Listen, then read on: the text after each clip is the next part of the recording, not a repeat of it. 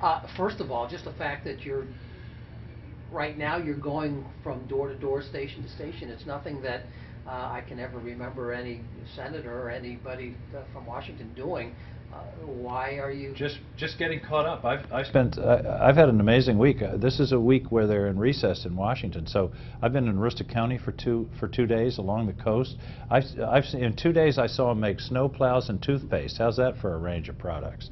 And then, uh, uh, down in uh, York County today, and so, you know, just, uh, getting caught up, listening, and, uh, uh, getting a little background, a little grounding before going back to, uh, to Washington. Is it part of a, of a commitment to, to make sure that the people know what you're, what you're doing? Yeah, I, I think part of it is just to communicate because uh, people, you know, you go down there and sort of disappear, and and I like to sort of, and I find that people are are interested. The most common question I get is, "What's it like? What are you learning? What are you seeing? Is it really as bad as we think?" And uh, so I'm just trying to uh, get some, give some answers to some of those questions. Well, if that's the most common question, then let me ask you, what, what, what, what's it been like? Well, it's on, on, it's really exciting. I mean, to be there as a United States Senator, particularly when you didn't expect it, wasn't something you planned on, is amazing. And I, I, Mary and I rent a little apartment about four blocks from the Capitol. I walk to work every morning.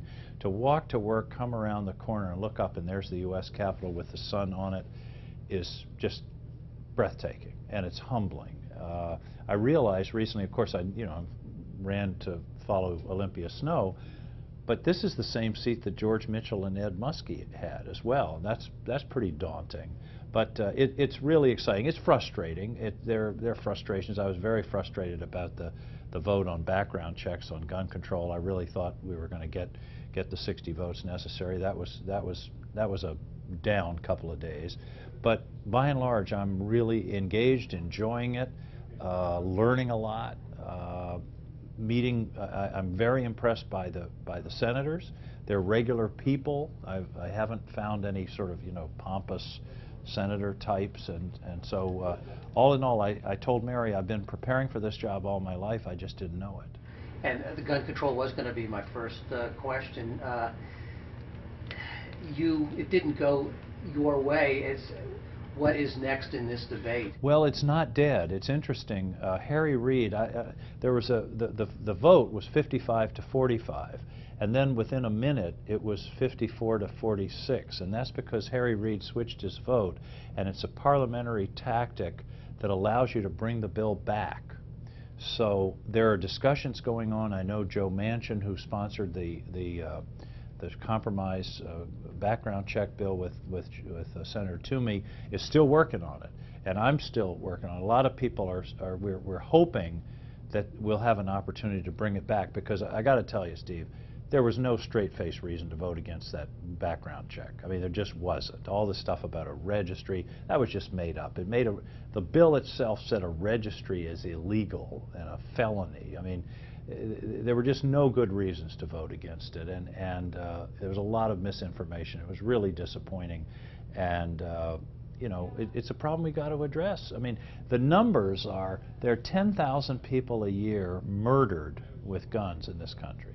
If you do the arithmetic, divide it by 365, it's the same as one Newtown tragedy a day, every day, 365 days a year. Now, we ought to be able to do better than that. And the simplest thing to me is keep guns out of the hands of people who shouldn't have them. Uh, Just a couple of other topics, I'll just hit one at a time. Uh, A serious topic, Syria. The other day, we, we heard about the chemical, um, the use of chemical weapons. Um, We, that's overstepping the lines. Yep. Well, I got to tell you though, it's it's one of the most complex problems I've ever tried to deal with. But just coincidentally, I'm on the Armed Services Committee and Intelligence, so I've had a lot of hearings and briefings and uh, on Syria in the last two or three weeks. There are no good answers, uh, and I just want to be sure that we're sure about a was there chemical weapon were there chemical weapons used? B what is our goal going in? And c how do we get out? Uh, you know we've done this before and it hasn't worked out very well. And I can tell you Syria makes Iraq look like a walk in the park. It's a much more complicated situation.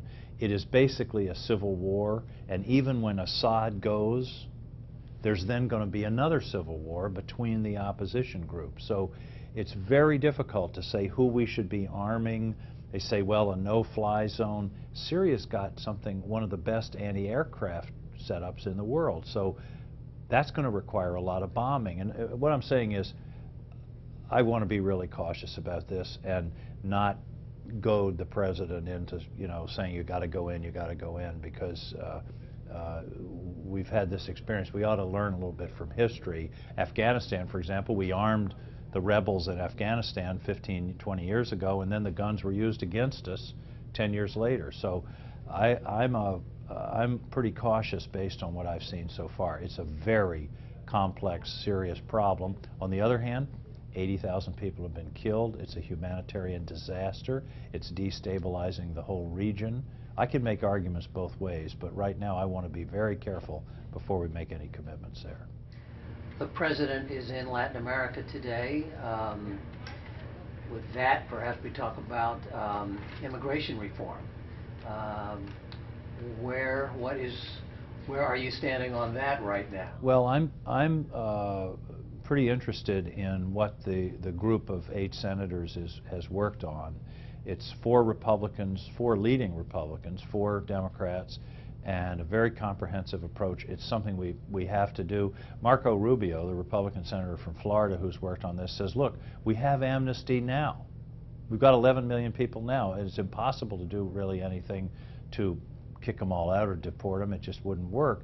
So why not create a system whereby they you know, we, we ensure they learn English, they get a job, they pay taxes, they pay a fine, they go through a period of as much as 10 years before they even have a right to apply for citizenship. To me, that, that makes sense. We're all, you know, except for the Native Americans and the African Americans that were brought here against their will, all the rest of us are children of immigrants. I mean, that's what built this country. There's a lot of talent out there. And I think in the long run it would help our economy. I was very interested. I met recently with the labor people in Maine, the AFL-CIO, and I thought, well, what's their position going to be? Because aren't they going to be afraid these people are going to take their jobs? They're in favor of immigration reform because the people who are here now who are illegal, you know, they're, they're working for substandard wages. They're depressing the wages of everybody else because they can't complain because if not, you know, they get reported and they get kicked out. So I think it's uh, important. And the other thing I like about it is it's being done on a bipartisan basis. It's, it's, it's a big problem that's being dealt with across party lines, which is the way it ought to be done.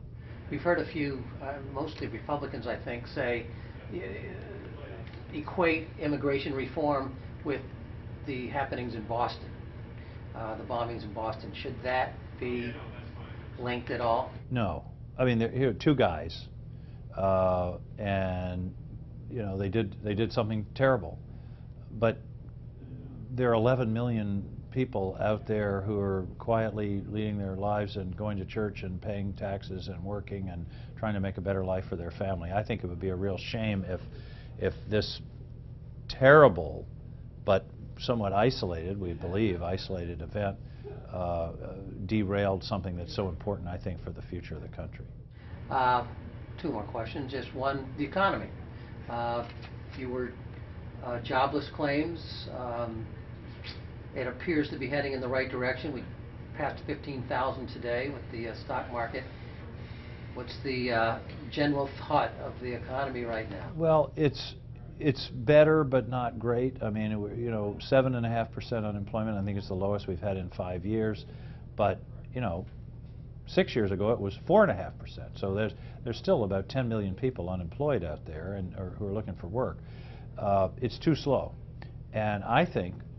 You know, in terms of all the multiple things Washington can do and the states can do, I think the single most important thing we could do in Washington is to pass a, a realistic budget jointly together as the way it's supposed to be done and do something about the debt and the deficit over the long haul. Just that, just showing that Washington can do its job, I think would be a huge boost to the economy because there's a lot of money sitting on the sidelines now in business that are that's sort of waiting to see are we going to get our act together? And I think that's the best thing we could do right now.